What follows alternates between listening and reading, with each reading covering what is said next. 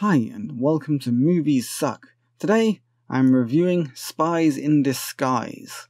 And I have to say, this is a much better movie than it had any right to be, seeing as it was directed by two guys who hadn't directed before. Not to mention, since there were two of them, they must have been on very good terms to not spend the whole time arguing over the creative direction of the movie. The writers also did a pretty good job with the script. The movie is funny, imaginative in places, and while the main story is very run of the mill and has been told a million times, the twist in the tale manages to keep it interesting enough so you won't find yourself getting bored. It does suffer from the usual Hollywood tropes, but they're not so in your face that they distract you from what is a fun kids movie.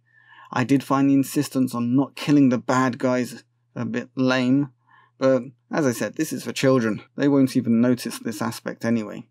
Will Smith finally finds himself in a movie role this year that doesn't make me want to tear out my eyes or drop a grand piano on the casting director. As after the debacle that was Aladdin and the truly terrible Gemini Man, it has gotten to the point now that when I see Will Smith's name attached to a movie, I have to seriously argue with myself over whether it's really worth my time. Which is a sad thing, as Will Smith used to be one of the go to guys for a good movie, whether it was drama, or action, or his speciality, action comedy, but it's really starting to feel like he is no longer relevant. Hopefully, he will prove me wrong with the release of Bad Boys for Life, but I won't be holding my breath. That said, he is in his element here, as the seriously cool spy Lance Sterling, a James Bond ripoff who can do anything and for whom no situation is too much to handle, and who always works alone. That is, until he meets what seems to be both his nemesis and his redemption in the form of Walter Beckett, voiced by Tom Holland, a young nerdy inventor who is a member of Team Weird. According to his mum, from a young age, Walter knew exactly what he had to do, and ever since has spent his life working hard at creating the world's best non lethal spy gadgets.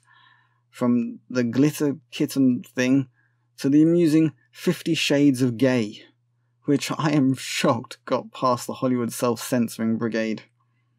Walter and Lance are flung into a crazy adventure after super spy Lance is framed by an evil, claw handed villain. Lance asks Walter for help and is accidentally transformed into a pigeon.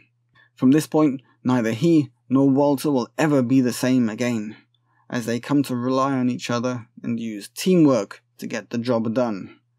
It sounds silly, and it is silly, but it's also a lot of fun. There were a few scenes in this movie that had me laughing out loud, which, after the failure of such comedies as Charlie's Angels 2019, Hustle, and Terminator Dark Fate, caught me a bit by surprise. I mean, maybe Will Smith hasn't quite lost his charm just yet. The plot of this movie sounds a lot worse than it actually is, and I surprised myself by actually quite enjoying this rather silly take on the spy movie genre. Obviously, it's mostly aimed at children, and you really can't go wrong by sticking this movie on the TV and letting your children stare glazedly at the screen until you've finished making them dinner, or drinking yourself into a stupor, whichever you prefer. The voice acting is pretty good, though it is a bit distracting that the actors are simply using their normal voices, which drags you out of the movie at first. It isn't the best film released this year, and I doubt it will be getting any accolades but it's certainly worth a watch if you are wondering what to do with your family during this holiday period. So, my verdict is that if what you want is a cerebral, thought provoking movie, then you are expecting way too much from your average Hollywood cartoon. If what you are looking for is a fun way to while away a couple of hours without drinking yourself into an alcoholic coma, then this movie will just about do the job. But if you have children and you want to watch a light-hearted, silly, family-friendly movie, then you cannot go far wrong with this engaging little movie about a spy turned pigeon turned, well, spy, and his nerdy sidekick. Now, I'm off to see if I can come up with a formula to turn lead into gold. After all, if it's this easy to turn a human into a pigeon, lead into gold must be a doddle. This is Movies Suck, wishing that you have all had a very Merry Christmas. Signing out. Leave a like, share, subscribe. I will catch you guys on the flip side. Let's get weird. Boom.